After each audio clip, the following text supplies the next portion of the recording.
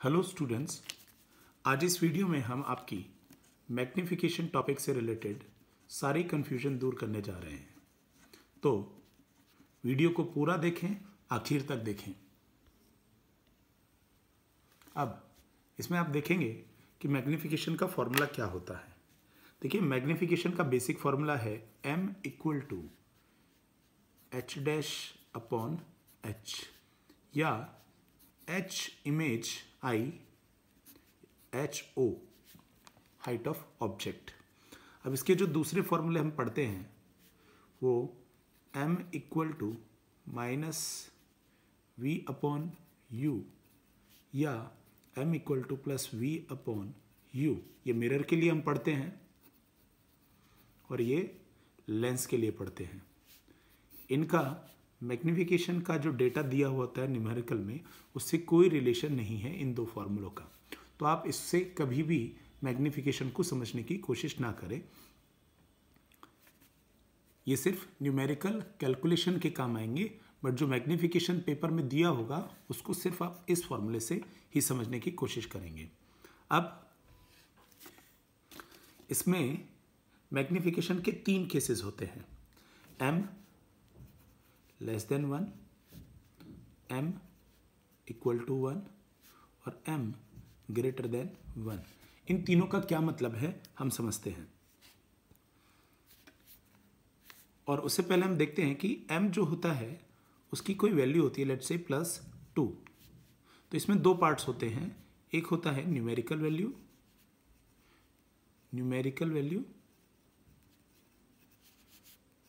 और दूसरा होता है साइन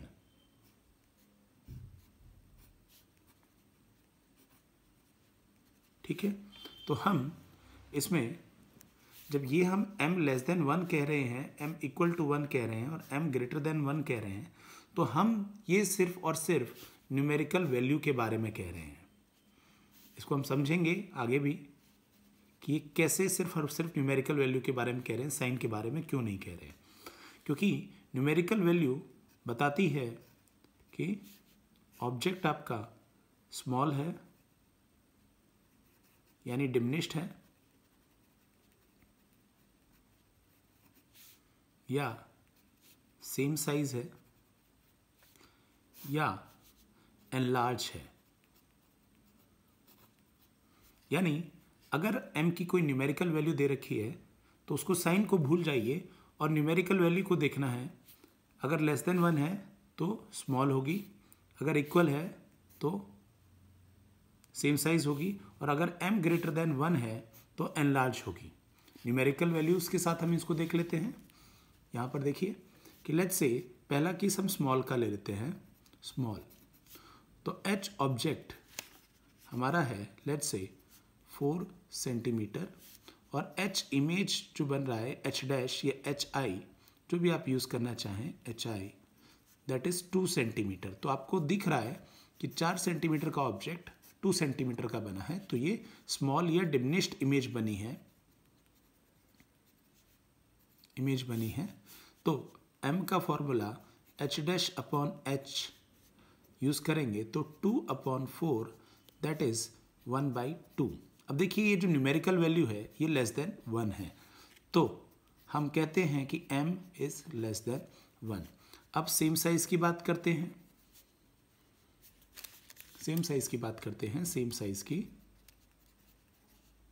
तो इस केस में h object let's say four centimetre h image dash ले लेते हैं।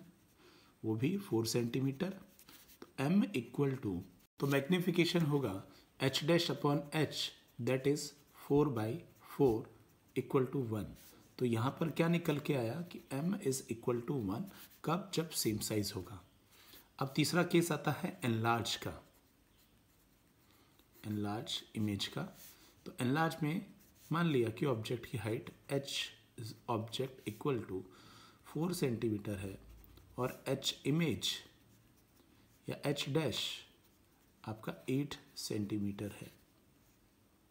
तो आपका m इक्वल टू आया h dash upon H that is eight by four that is two तो ये वैल्यू टू आई तो two is greater than one इसका मतलब है M is greater than one ठीक है?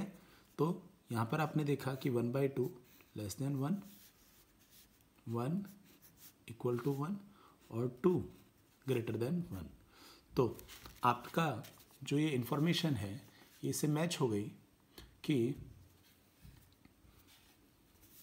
जब m लेस देन वन होगा तो स्मॉल बनेगी, m इक्वल टू वन होगा तो सेम साइज़ बनेगी और अगर m ग्रेटर देन वन होगा तो एनलार्ज बनेगी। ठीक है? अब हम देखते हैं कि फिर प्लस माइनस का क्या फ़र्क पड़ता है। देखिए, m equal to H dash upon H अब हमें याद है साइन कन्वेंशन से कि अगर ऑब्जेक्ट ऊपर है तो उसकी हाइट जो है, वो पॉजिटिव साइन की होगी। तो अगर बाई चांस इमेज भी ऊपर ही बनी तो एच डैश भी पॉजिटिव होगी। तो अगर दोनों पॉजिटिव हैं तो positive upon positive result positive आएगा। इसका मतलब क्या हुआ? कि m इक्वल टू पॉजिटिव में आता है तो एच डैश भी पॉजिटिव ही होगा। इसका मतलब एम पॉजिटिव का मतलब है इरेक्ट इमेज बनेगी। इमेज बनेगी।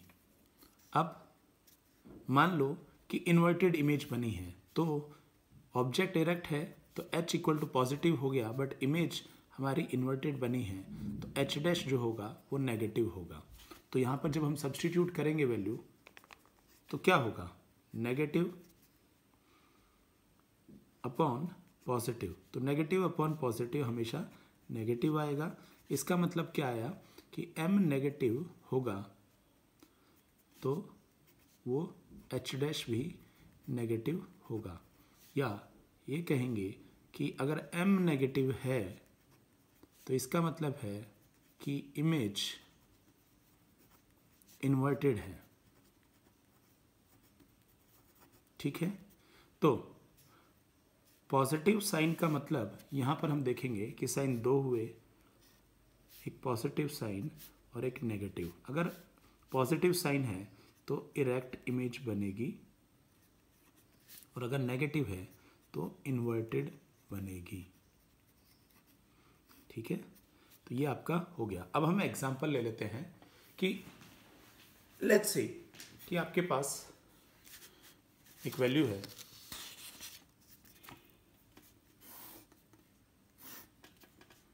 m equal to plus two and m equal to minus two तो इनका क्या मतलब हुआ? देखिए न्यूमेरिकल वैल्यू हम देखें तो numerical value two is greater than one यानी m is greater than one और m ग्रेटर देन वन का मतलब है एनलार्ज यहाँ पर two numerical value greater than one यानी m ग्रेटर देन वन यानी एनलार्ज बट साइन की बात करते हैं साइन है पॉजिटिव तो पॉजिटिव साइन का मतलब है इरेक्ट तो इमेज इरेक्ट है, जबकि यहाँ पर नेगेटिव साइन का मतलब है कि इमेज इन्वर्टेड है। तो ये आपका केस हुआ। अब हमें पता है कि एनलार्ज किसमें बनती है। एनलार्ज हमारी बनती है कॉनकेव मिरर में। कॉनकेव मिरर में। तो ये दोनों कॉनकेव मिरर के ही केस हो गए बट इरेक्ट बनेगी तो ये कौन सा केस होगा? इरेक्ट बनती है हमारी जब सिक्स केस होता है object between F and P जबकि इन्वर्टेड हमारी एनलार्ज बनेगी। इन्वर्टेड वाली आप देख लेंगे। आप यहाँ से ले आइए। इन्वर्टेड हमारी बनेगी, वो भी कॉनकेव में ही बनेगी। कॉनकेव में ही बनेगी। और कौन से केस में बनेगी? फोर्थ एंड फिफ्थ केस में, फिफ्थ केस में बनेगी। वो हम यहाँ पर नहीं लिख रहे हैं। अब इसका एक और इम्पोर्टेंट हम डिस्कस कर लेते हैं, जो पेपर में काफ़ी बार आता है। उसको देखते हैं कि इसका क्या मतलब है। M equal to plus one और m equal to minus one देखिए वन साइज़ से ये तो पता चल रहा है कि ऑब्जेक्ट जो है सेम साइज़ का है। Same size. तो सेम साइज़ दो उसमें बनते हैं। एक बनेगा प्लेन मिरर में और एक बनेगा कॉनकेव मिरर में। तो बट प्लस साइन बताता है कि ये इरेक्ट है और इरेक्ट जो है प्लेन मिरर में ही बनती है।